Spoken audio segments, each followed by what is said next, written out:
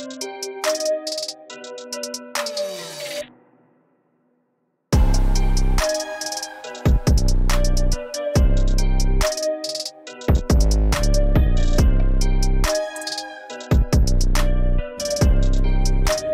moin liebe Leute und herzlich willkommen zurück zu unserem Let's Play von Baldur's Gate 3. Wir sind hier im Tempel der Göttin Shar und bei den Proben der Shar und ähm, haben hier eine Täuschungsbestie erledigt und wir haben schon gesehen, dass hier auf jeden Fall sehr viele Gegner auf uns warten. Ähm, ich gehe nicht davon aus, dass sie irgendwie mit uns sprechen werden, weil die auch schon direkt in den Kampf eingestiegen waren. Ähm, deswegen werden wir mal gucken, wie wir an die ganze Sache rangehen. Wir werden jetzt erstmal gucken, was die Täuschungsbestie hier hatte. 85 Trefferpunkte, ganz schön viel. Aus wie so ein Panther. Ähm, ja, ihr könnt ruhig mit hier runterspringen.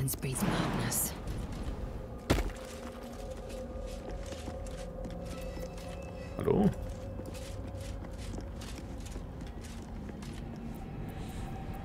Ah, das hasse ich ja immer.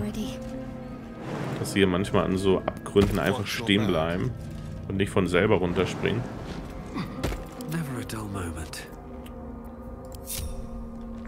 So, wir werden auf jeden Fall mal schleichen. So, da sehen wir die nämlich. Und ja, sie haben schon direkt hier das Angriffssymbol. Ich weiß nicht, ob wir da uns das jetzt hier versaut haben mit dem Angriff auf die Täuschungsbestie. Aber mit der hätten wir, glaube ich, auch nicht sprechen können. Deswegen, ähm, ja, habe ich die halt direkt angegriffen.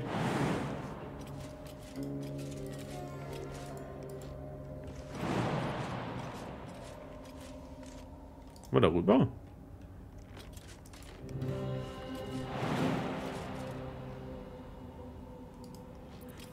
Wir versuchen das mal mit Lizelle.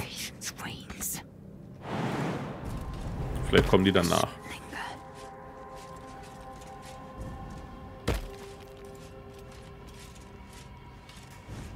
Aha. Er schafft's.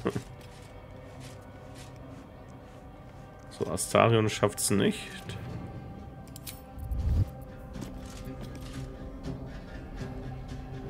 Ah doch, jetzt.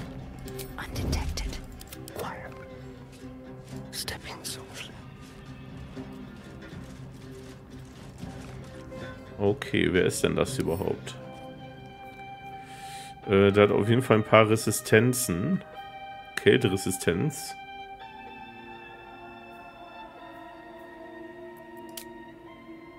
Ein Unhold.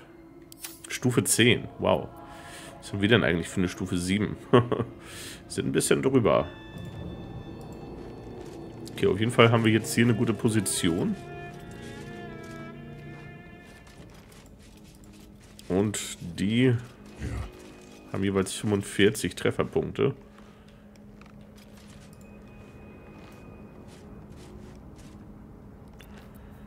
Ähm, ja, vielleicht teilen wir unsere Leute sogar schon mal ein bisschen auf. Weil das scheint ein harter Kampf hier sonst zu werden. Mission has to come first.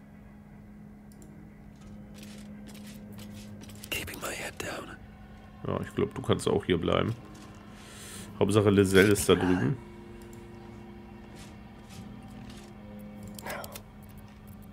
So, dann starten wir mal einen Angriff hier am besten auf den erstmal. Ja, komm, den nehmen wir jetzt mit hier. Und ja, da geht es auch schon los. Die Gegner sind überrascht. Sehr schön. Guck mal, der hat nur noch 26 Trefferpunkte. Genau so soll das sein, liebe Leute. Ähm ja, wir können nichts machen. Wir verstecken uns mal nochmal. Und gehen mal so ein bisschen in Deckung hier. What's next, I wonder?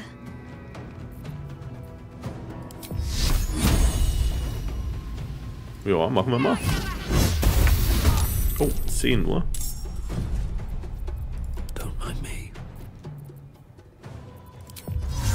Und wir machen hier mal eine schöne Dolchwolke.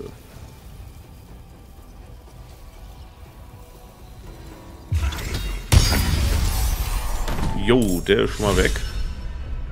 Zurück zum Absender. Lizelle ist inspiriert. Und Lizelle ist sogar eine Stufe aufgestiegen. Töte Raphaels alten Feind. Ach, guck mal. Das war der Typ hier.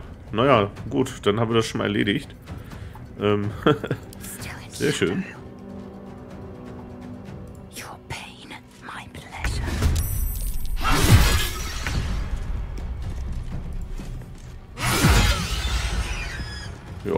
Schubsen wir den nochmal runter. Tot. Sehr gut. Ähm, ich mache das jetzt mal ein bisschen taktisch. Ich werde mich hier mal hinter der Dolchwolke feststecken, in der Hoffnung, dass die gleich hier rüberkommen.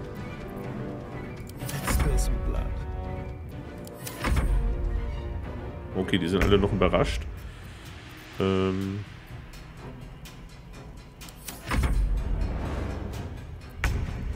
Ich glaube, dann dürfen wir gleich sogar nochmal. Ja, mit Schattenherz können wir da vielleicht schon mal rübergehen.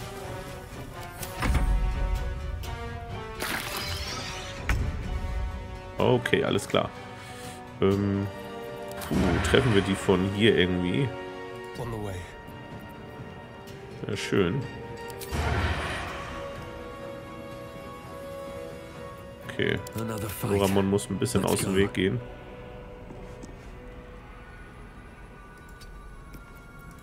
Let's turn someone inside out.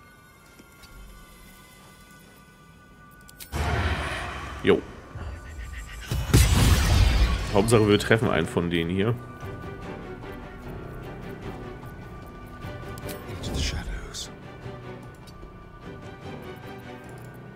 Blood comes easy these days.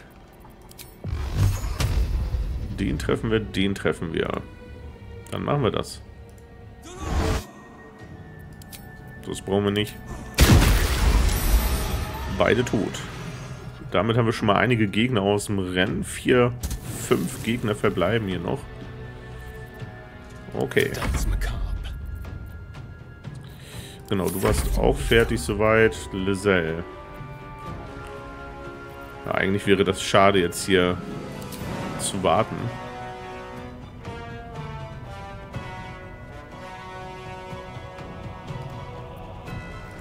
Okay, die Durchwolke hat irgendwie jetzt gar nicht so viel gebracht. Ich möchte die dann gerne wegmachen, damit Lizelle hier keinen Schaden kriegt.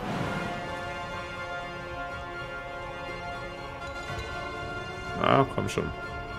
Ich möchte da gerne zwischenspringen.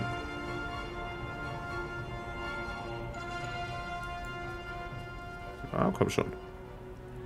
Ich habe es doch eben schon gehabt.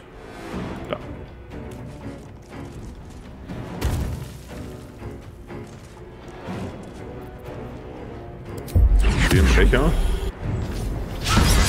Oh, geschlagen. Auch das noch.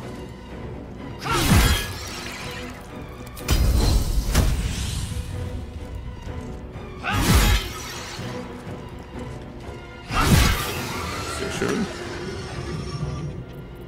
Okay. So, jetzt kommen wir schon mal zwei. Zwölf Trefferpunkte. Okay. Elf.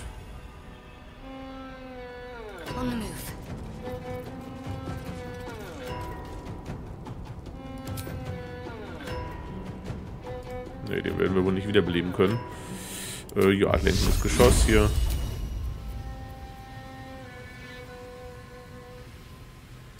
Ah, da treffen wir nicht gut.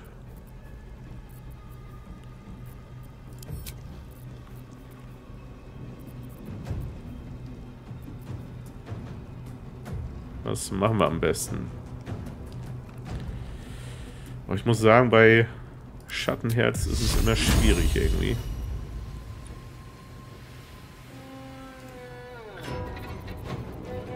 Haben wir nicht noch irgendwas anderes? Untote sind es ja nicht, ne? Was sind das denn hier? Unholde.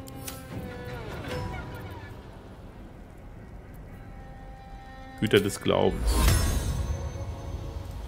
Aber das reicht auch nicht. Es wäre eigentlich zu schade, den jetzt schon einzusetzen. Ich weiß ja nicht, was noch kommt.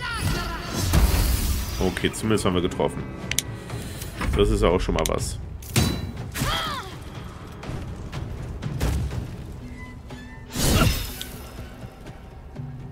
So, kriegt ein bisschen Probleme.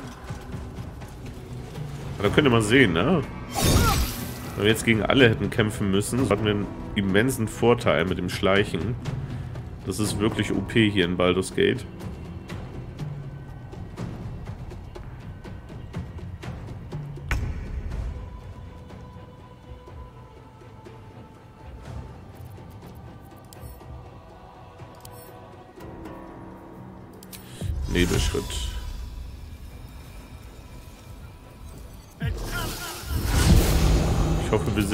Versteckt. Ja, sehr gut.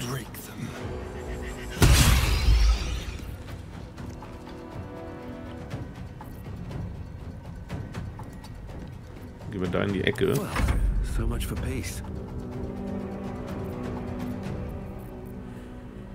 Auch mit Muramon können wir mal Nebelschritt machen.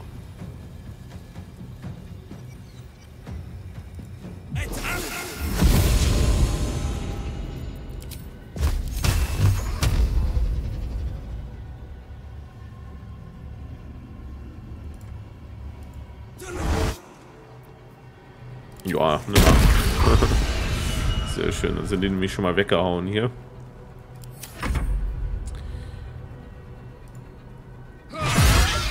Wow. Der hat gesessen. Wunderbar. Den können wir vielleicht nochmal außen nocken. Ja, der ist zumindest benommen. Nochmal gucken ist bei Weisheitsrettungswürfen im Nachteil, kann keine Reaktionen ausführen und verliert den Geschicklichkeitsbonus auf die Rüstungsklasse. Äh, dann können wir sogar uns hier nochmal als kleine Mauer aufbauen.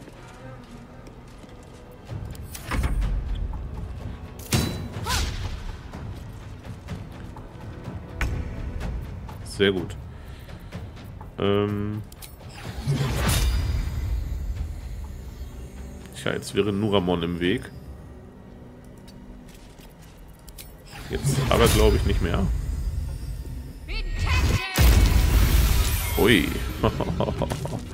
Das ist echt mächtig. Der Sonnenstrahl.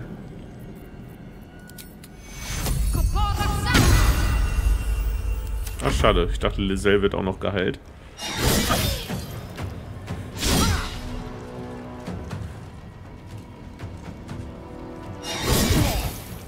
blind. So, die bezaubern wir mal. Oh, der hat seinen Rettungswurf geschafft. Schade. So, den beißen wir mal direkt. Damit heilen wir uns noch mal ein Stück und dann schalten wir den aus. Wunderbar. Nothing important is ever easy. I need to find a way forward. Ja, geschafft.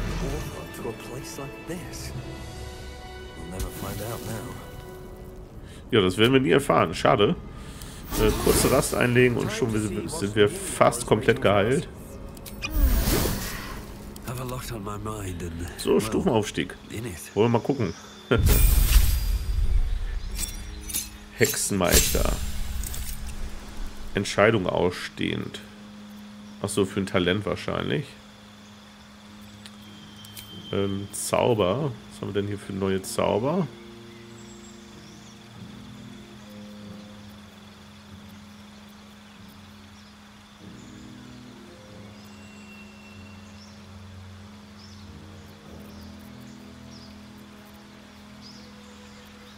Alles nicht so besonders. Ich weiß gar nicht, ob wir noch beim Hexenmeister bleiben sollen.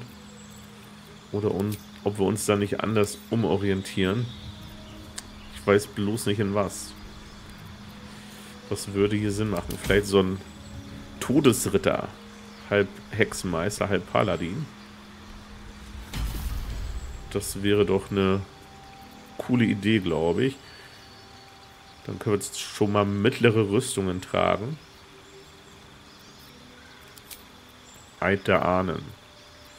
Du streitest auf der Seite des Lichts im ewigen Kampf gegen die Dunkelheit, um die Helligkeit des Lebens und die Schönheit der Natur zu bewahren. Heilendes Gleißen, der Hingabe. Du folgst dem Ideal des Ritters in strahlender Rüstung und handelst ebenso ehrenvoll wie tugendhaft in dem Bestreben, die Schwachen zu beschützen und Gutes zu tun. Du bist bereit, deine eigene Reinheit zu opfern, um Unrecht zu sühnen und jene zur Rechenschaft zu ziehen, die furchtbarste Sünden begangen haben. Macht des Inquisitors deine Waffenangriffe oder die eines Verbündeten bewirken zusätzlich vier gleißenden Schaden und können Ziele einen, lang, äh, einen Zug lang bis, äh, benommen machen. Der Vergeltung. Lehren Paladine vom der Vergeltung richten sich nach folgender Lehre. Bekämpfe das größere Übel. Nutze deine Weisheit, um unter äh, allen Umständen die höhere Moral zu bestimmen und kämpfe für sie. Ja, Weisheit haben wir halt nicht. Ne? Das ist eigentlich totaler Quatsch. Wird hier auch von Weisheit gesprochen? Irgendwie nicht.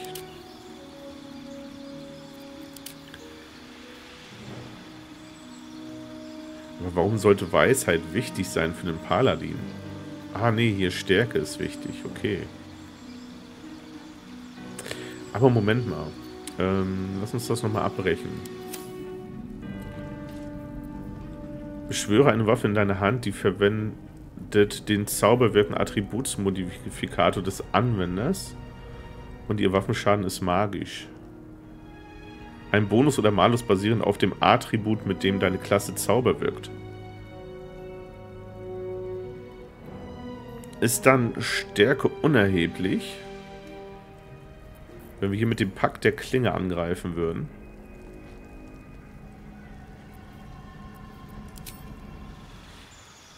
Ich glaube, das probieren wir mal aus. Wir können ja im Lager notfalls auch äh, komplett einmal zurücksetzen. Ich würde hier einfach den Paladin jetzt mal nehmen. Und wir machen hier den Eid der Vergeltung.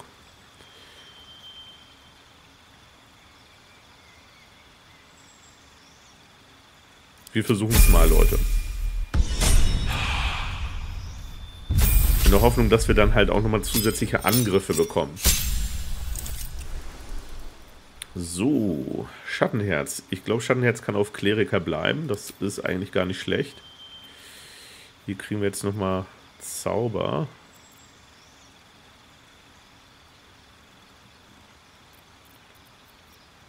Das wird nochmal gut gehen. Ähm, Schild des Glaubens. Den können wir mal wegnehmen.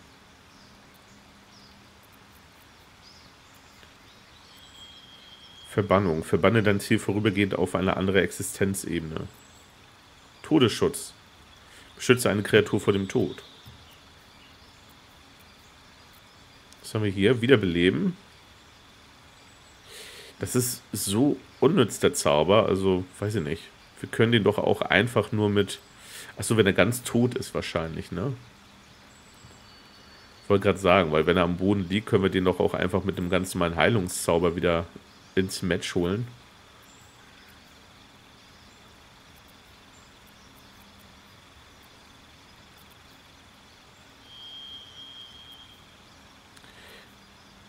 Heile eine Kreatur von Krankheit, Gift, Leben oder Blindheit. Ich würde das mal mitnehmen. So, Talent. Ja, jetzt ist wieder die Frage aller Fragen.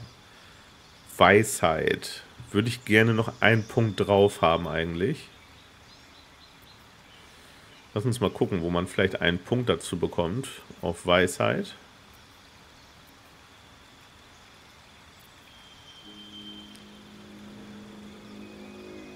Oder warte mal. Was hat sie denn für Rüstungen? Mittlere Rüstungen, glaube ich. Das passt eigentlich auch. Da haben wir schon den Meister ausgewählt, okay. Kampferprobter Zauberwirker. Wisst ihr was? Wir nehmen C. Dein Trefferpunkte-Maximum wird pro erreichter Stufe um 2 erhöht. Oder?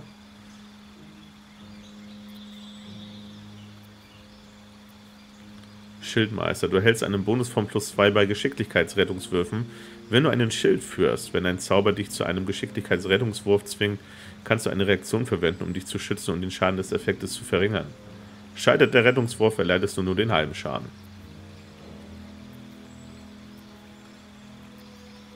Ja.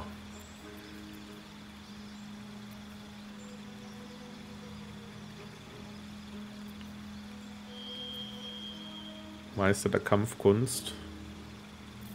Oh, ich glaube, ich würde C nehmen. Einfach damit wir hier mehr Trefferpunkte bekommen. Dann liegt Le, äh, Schattenherz sich so schnell am Boden.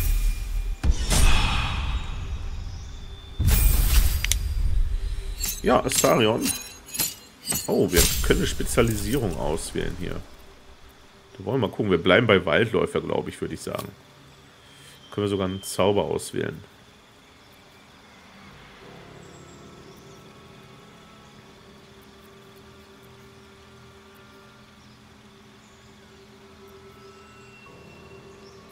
Puh.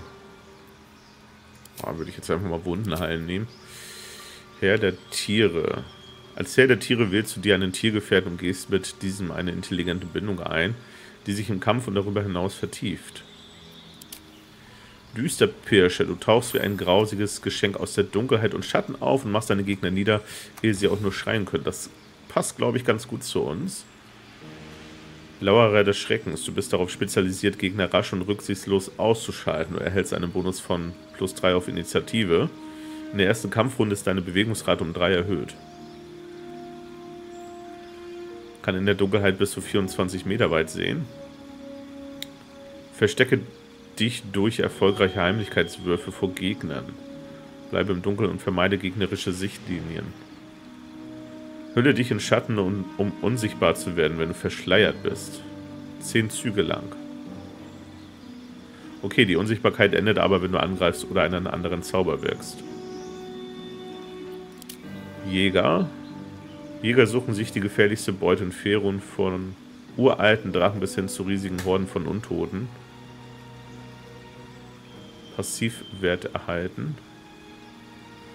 Du bist darauf spezialisiert, gegen bestimmte Gefahren zu kämpfen, wähle eine der folgenden Merkmale aus. Koloss schlechter. Einmal pro Zug verursachst äh, dein Angriff mit einer Waffe zusätzlichen Schaden, wenn das Ziel weniger Trefferpunkte als sein Maximum besitzt. Wenn dich eine Kreatur von mindestens groß, großer Größe angreift, kannst du deine Reaktion einsetzen, um einen Nahkampfangriff auszuführen. Hordenbrecher ziele auf zwei Kreaturen, die beieinander stehen, um sie in rascher Folge anzugreifen. Gilt das denn auch für Fernkampf? Das wäre super, ne? wenn wir schleichen und gleich zwei Gegner mit unserem Schleichangriff ausschalten könnten.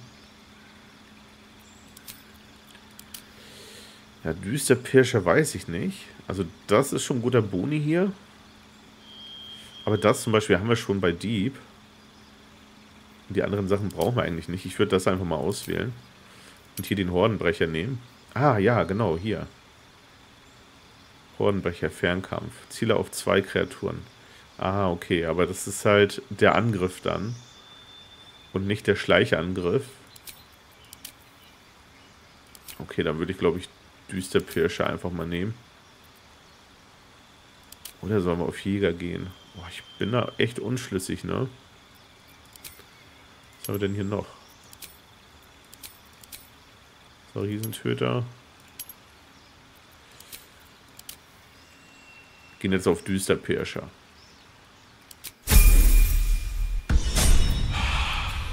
Ja, das muss immer ein bisschen äh, Zeit in Anspruch nehmen hier.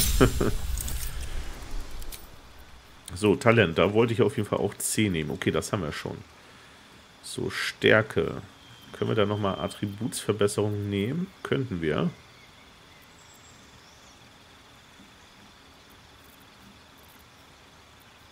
Ich glaube, was anderes kommt jetzt nicht so unbedingt in Frage. Athlet.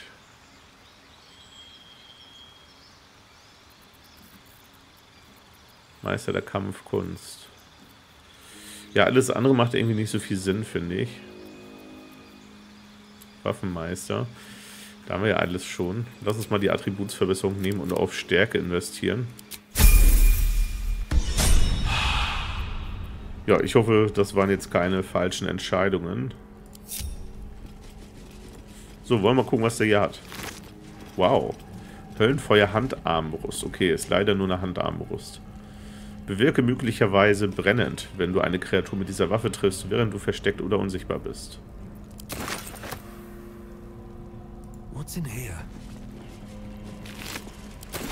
Kann natürlich leider wieder keiner von uns so richtig benutzen. Oder schon entweder mit Bogen oder richtigen Armbrüsten unterwegs sind. Horten der Merigon. Okay.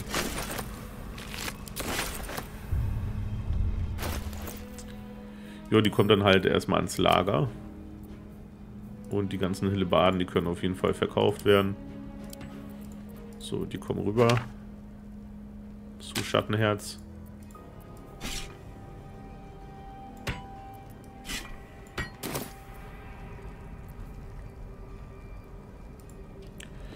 Da unten, den hatten wir runtergeworfen.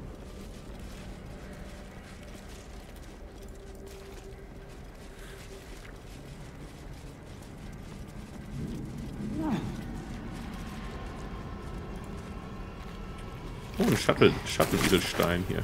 So much blood. What the hell's has been happening here? Ortons Bett. Okay, der hat hier tatsächlich irgendwie auf Leichen gepennt. Ja, unbequem sieht das auf jeden Fall aus. What's hiding here?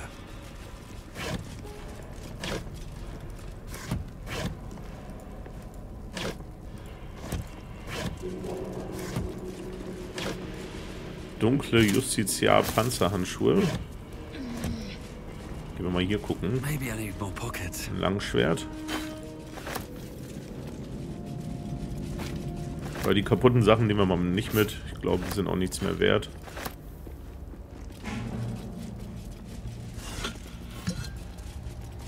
Chambers of Penance. Kammern der Buße.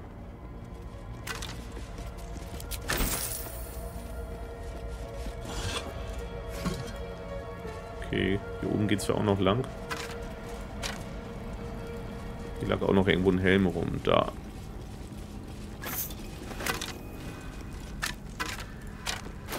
Überladen. Schattenedelstein. Tiefschwarz wie eine sternlose Nacht. Das sieht wichtig aus. Das würde ich halt auch nochmal hier behalten.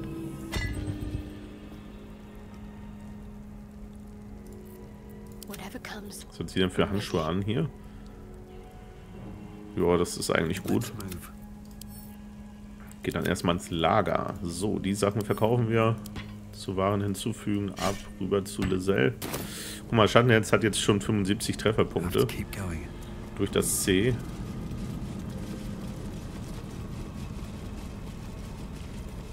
Gerippe. Spinnenfleisch. Well-chewed spider carcass oozes on the ground. Wir untersuchen das mal.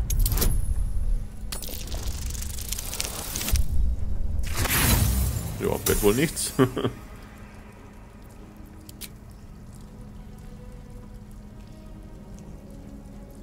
disgusting, but otherwise unremarkable.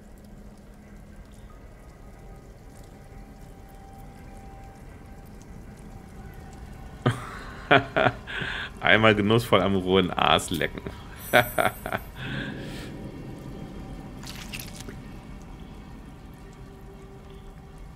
the meat tastes of rot and sour milk. Your stomach lurches, but your loins tingle. Was that arousal? Why are you looking at that dead spider coquettishly? In amongst the rot is an unmistakable sweetness. Succubus spittle. The meat is charmed. Okay, das Fleisch ist bezaubert. Haben wir jetzt irgendwas dadurch bekommen? Nö. Also Noramon ist schon echt krank, muss man sagen. Der macht hier so allmöglichen Kram immer. Ach, die sind ja auch nichts wert hier, die rostigen Sachen. Die können wir alle da lassen. Schwere Truhe, da ist bestimmt was drin. Stiefel der Pracht. Badische Inspiration wiederherstellen. Jo, wir haben keinen Baden dabei, also weg. Ab ins Lager. Können wir eigentlich sogar komplett verkaufen, aber solche Sachen bewahren wir einfach mal auf. Ich weiß ja nicht, was noch kommt.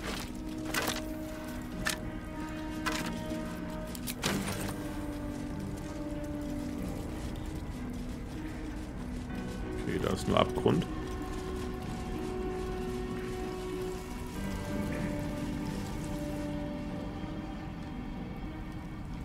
Ach so, warte mal. Wir können ja dann noch oben lang, ne? Das gerade sehe.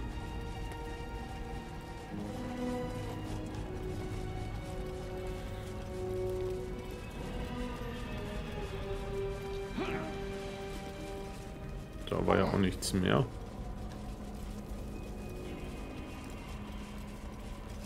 Achso, hier gibt es nur einen Thron. Verdrehter Knochenmark-Thron. Ja, Leute, ich glaube, das ist hier das Wort zum Sonntag. wir sind eh am Ende der Folge angelangt. Ähm, und dann würde ich sagen, sehen wir uns in der nächsten Folge wieder. Lasst gerne ein Like oder Kommentar da, wenn euch die Folge gefallen hat. Da würde ich mich auch sehr drüber freuen. Bis zum nächsten Mal.